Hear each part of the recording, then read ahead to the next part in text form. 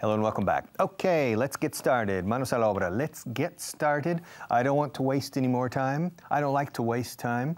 I prefer to make time as productive as possible. So, without any further ado, let's get started.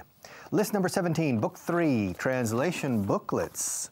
I have many books like this, con miles y miles, hasta 25 mil frases de inglés cotidiano, del uso diario. Y esto es el libro 3 para gente de nivel medio alto o avanzado bajo. Okay, are you ready? Number one. This is a story. This is a conversation between a father and a son. We only hear the father's voice. We never hear the son's voice. But by the father's responses, we can assume the father's or the son's answers. Are you ready? Number one. Estoy decepcionado con tu progreso. I'm disappointed with your progress. Disappointed.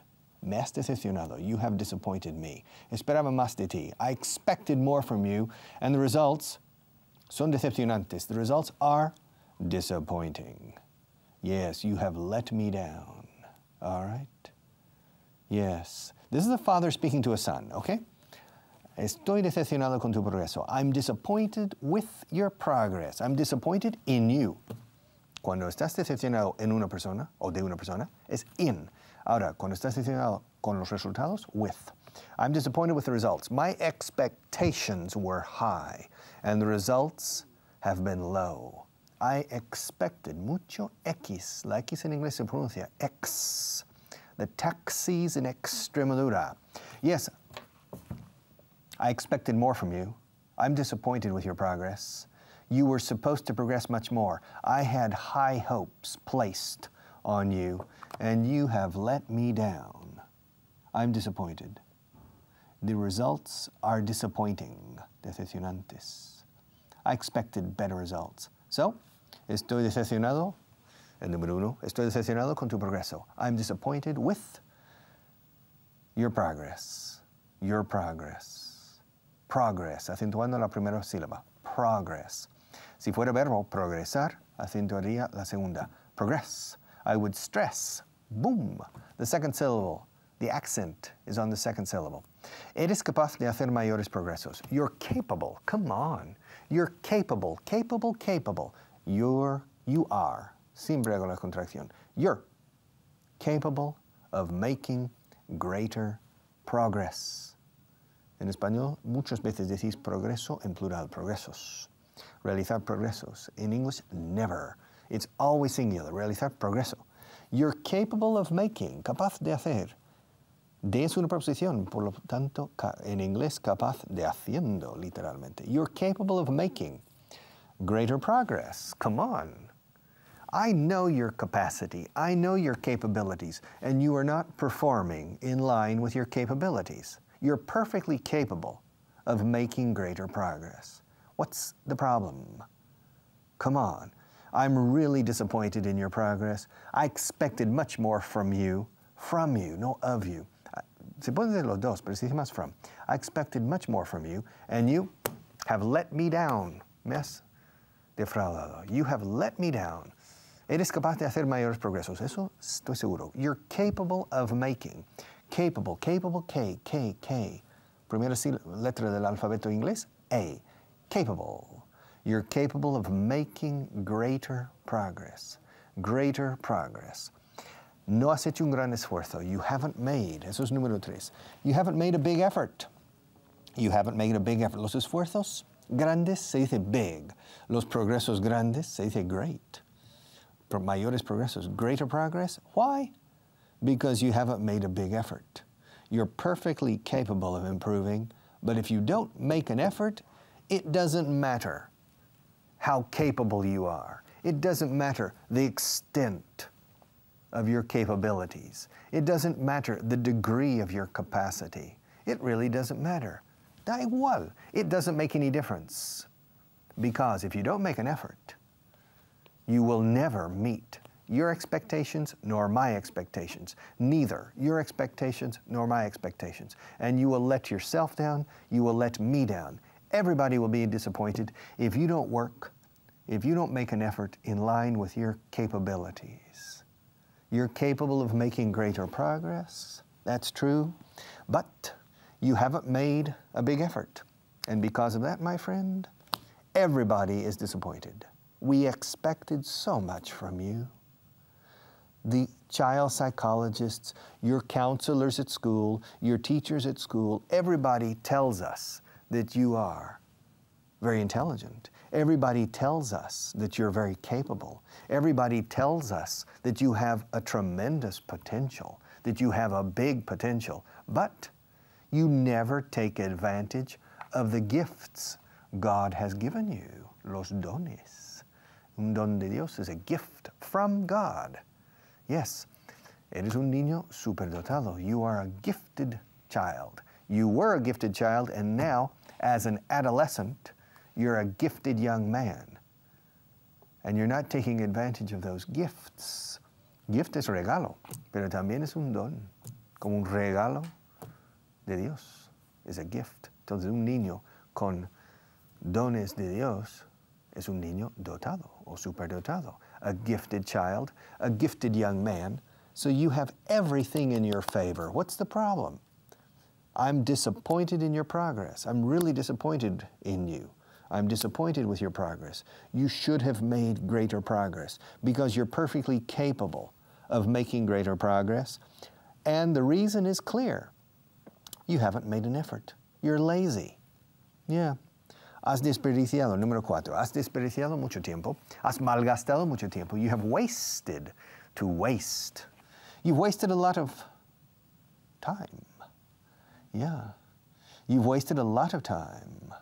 Yes. You've wasted my time. You've wasted your time. You've wasted your mother's time. You've wasted your grandmother's time. You've wasted your own time.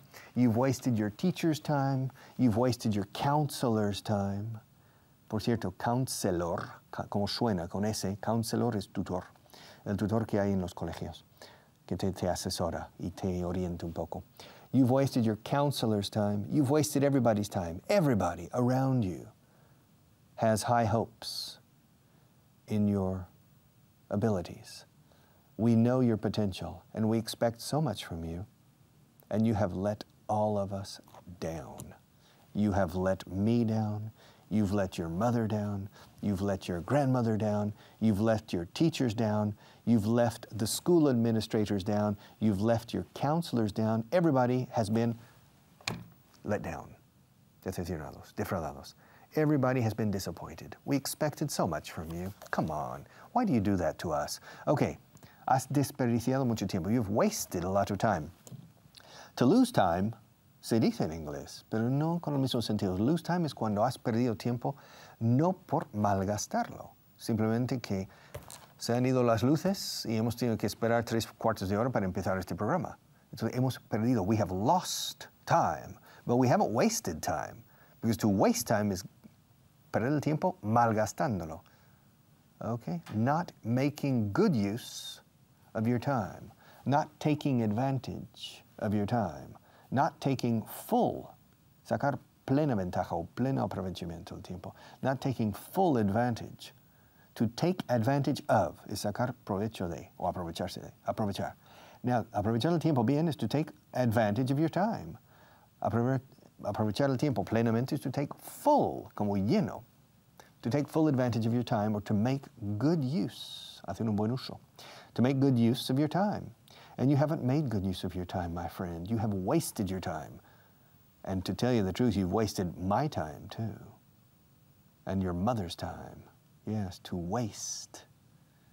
De desperdiciar, derrochar, malgastar, despilfarrar. Residuos radiactivos, por ejemplo, nuclear waste, es lo que se gasta. Y lo que ya no sirve es to waste. All right, tu madre está muy disgustada, ¿eh? Your mother is very upset, la pobre. Come on. How can you do this to your mother? She thinks you are the most incredible human being since the invention of man. And you've come back from the university with bad grades. you are going to have to repeat the year. Come on, your mother? I don't know what to tell your mother. Your mother is very upset. Like me, She was expecting much more from you. She's also disappointed, but of course, she's your mother. And the love from mother to son is with no conditions, it's unconditional love. Me, I love you too, but I expect much more from you, and you need to win my respect. I will always love you because you're my son, but you need to win my respect. For your mother, it's not a question of respect. Okay, but still, she knows that I'm disappointed. And really, en el fondo, como se dice en inglés, en el fondo, deep down. Bueno, en el fondo físicamente es at the bottom. Si estás nadando al fondo del mar, estás at the bottom of the sea. Pero en el fondo means deep down. She's disappointed too. Tu madre está muy disgustada. Número cinco, your mother is very disappointed. She's very upset. Muy disgustada, upset. Deberías haber estudiado más. You should have studied more. You should have studied more. You should have. Deberías uh, haber estudiado más. That was a mistake. You didn't study enough, and that was a mistake. You should have studied more. You should. Voy a hacer la contracción ahora. You should have. You should have.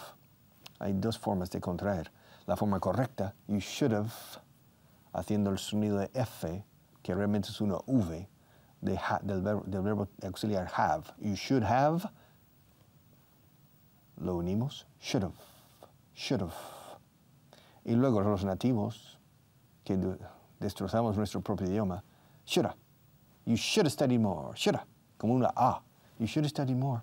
Yeah, deberías haber asistido a más clases. You should have attended more classes. Come on, you didn't even attend class regularly.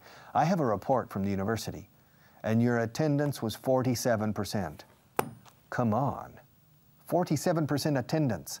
You didn't even attend class half the time. Come on. And I'm paying for these, these you know, do you know how expensive universities are? My God. Yes. You should have studied more and you should have attended more classes. Yeah, that's right. You should have studied more. You should have attended more classes. I am really disappointed. And your poor mother, she is really upset. Come on.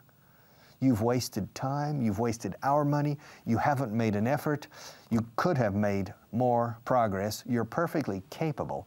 In fact, you're considered a gifted young man, a gifted child. All our lives we've known that you were gifted in music, in art, in writing, in everything. You have everything going for you, everything in your favor. Everything is going for you. Tienes todo a tu favor.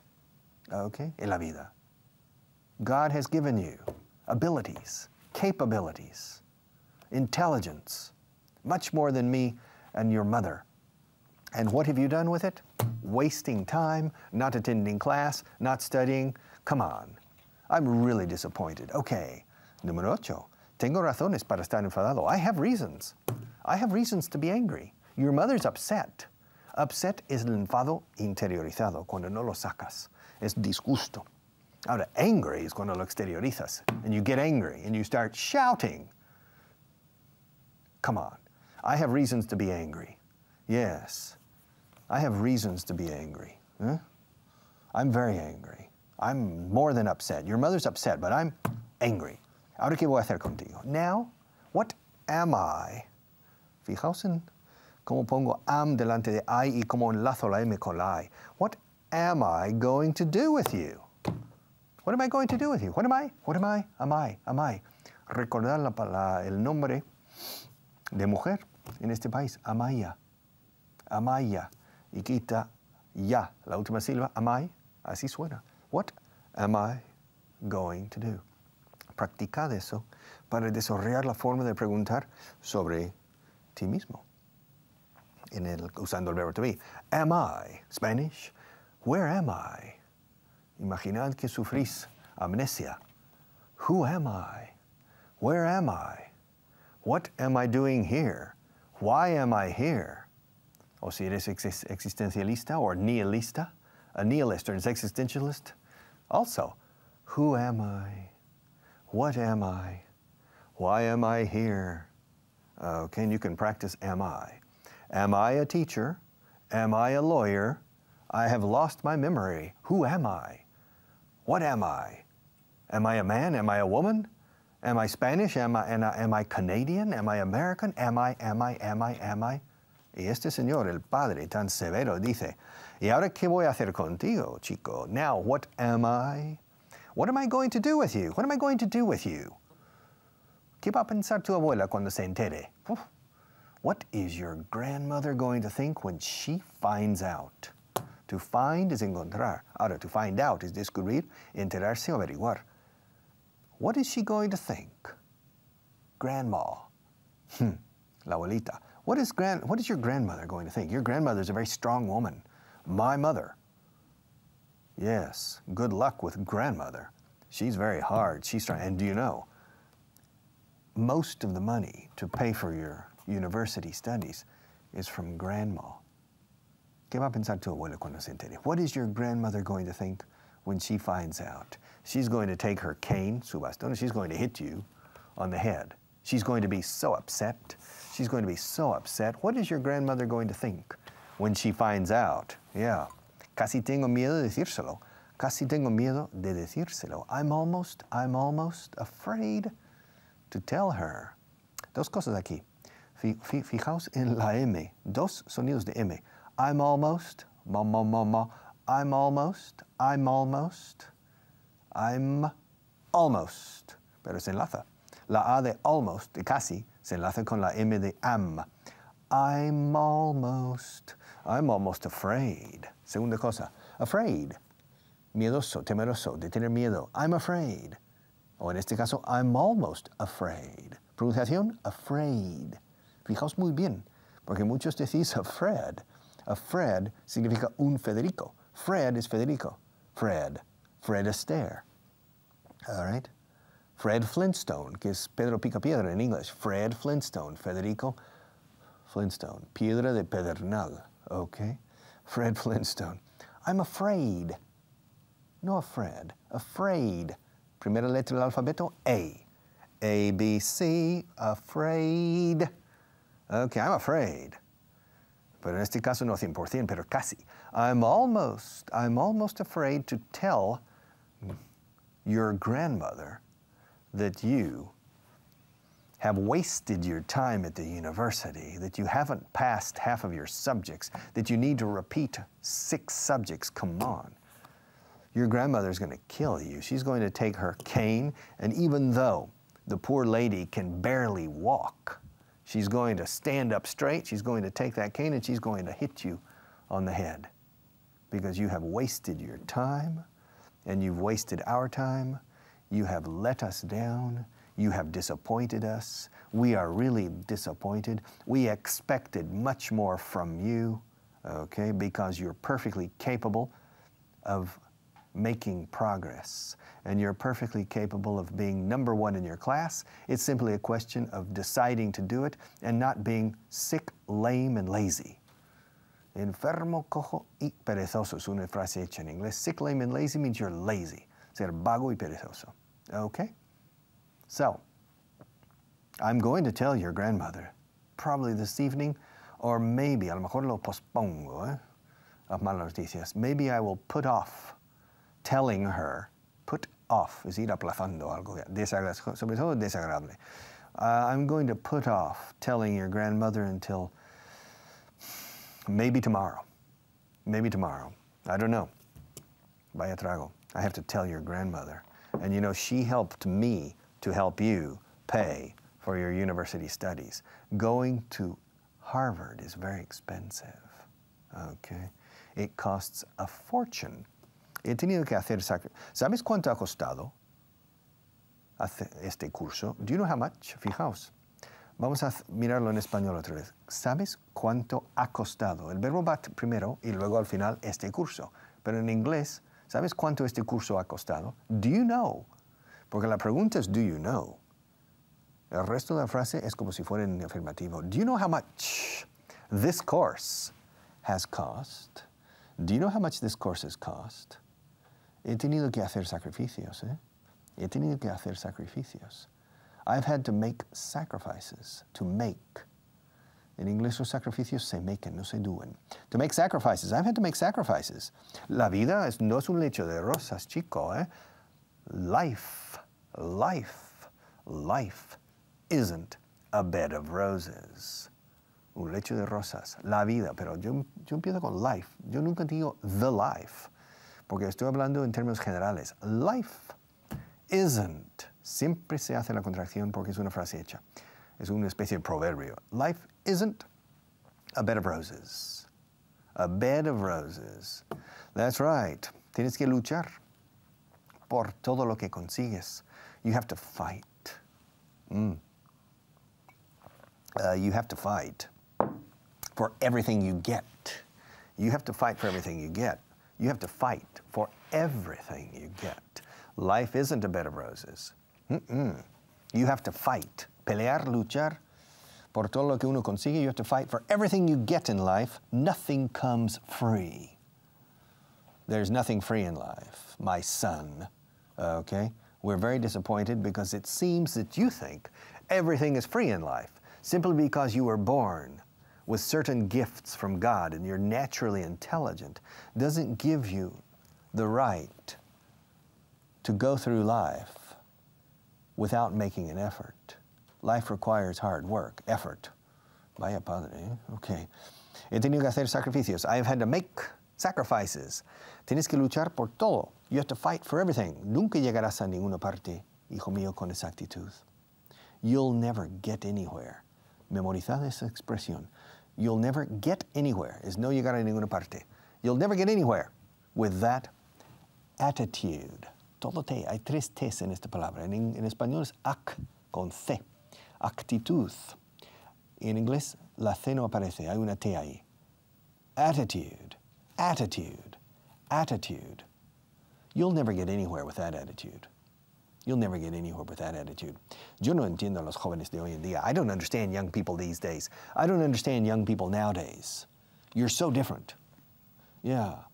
I don't understand young people nowadays. Cuando yo tenía tu edad, éramos o estábamos orgullosos de ir a la universidad. When I was your age, when I was your age, we, me and my colleagues and my friends, we were proud to go to the university. When I was your age, we were proud to go to the university, yeah. Really proud. Orgulloso, que viene del sustantivo orgullo, que es pride. We were, we were, we were proud to go to the university when I was your age. Yo a tu edad. When I was your age, we, myself and my friends, were proud. ¿Qué os pasa? What's the matter with you? What's wrong with your generation? What's the matter with your generation? ¿Y ahora qué, voy, qué, qué vas a hacer ahora? ¿Qué vas a hacer con tu vida ahora? Now, what are you going to do? What are you going to do now? What plans do you have? What are you going to do? ¿Crees que te voy a mantener para siempre? Hmm? Do you think I'm going to support you forever? Come on. No seas iluso. Come on. Don't have these illusions that I'm going to uh, support you forever. Eh? Do you really think that? Come on. Do you think I'm going to support you forever? Mm-mm. Más vale que busques un trabajo, eh? Más vale. You had better look for a job. You had better. Extraña expresión. Pero es la forma de decir deberías, pero con consecuencias malas, siempre implícitas, porque es una especie de amenaza. Más vale, chico, que empieces a buscar. You had better start looking for a job. Mm -hmm. Ya te hemos dado dos oportunidades. We've already given you two opportunities y no las has aprovechado. You haven't taken advantage of them. You haven't taken advantage of them. En mi opinión, deberías estar avergonzado. You should be, in my opinion, you should be ashamed, not proud. The opposite of proud is ashamed. The opposite of pride, orgullo, es vergüenza, shame. Pero añades adelante, ashamed, y ed al final, con shame, You should be ashamed. Yes. I expected a lot from you, and I haven't finished talking to you, okay? Which means I need to come back in about five minutes and continue talking to you about your responsibilities to me, to your mother, to your grandmother, to yourself, and about life in general, about the, the struggle for life. Yes, so I'll be back in five minutes. Sorry. Okay, this is simply a list. I'm not really angry with you. But we'll come back in five minutes to continue with the story of the father talking to his son. All right, so don't go away.